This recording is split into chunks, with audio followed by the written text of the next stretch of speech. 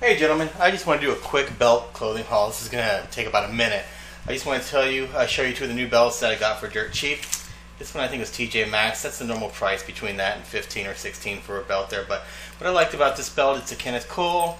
Um, it is the uh, two-way, so it's got the reversible side here. Um, it's got the nice thick, thick buckle. I'm not too sure why it's reversible there because you look, it's not really much of a different color, if any at all. But uh, it's a nice solid belt with a nice big buckle. Something nice to wear to the office there. And the other one I got was, uh, let's see, this was about $7.80. It was at Kohl's. I like to switch it up a bit and kind of have uh, both types of the belt, just the, the flat shiny front here and the buckle there, the uh, normal looking buckle.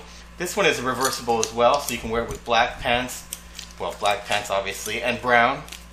Um, nice little belt, nice and classy, nice and shiny. So, just giving you a quick idea on what I uh, picked up quickly. Like I said before in other videos, when you're driving on the street, just stop somewhere really quick, whether it's a store, thrift shop, somewhere, grab one item a day or one item every few days. You'll wind up with a big and killer wardrobe. And you might even find some gems.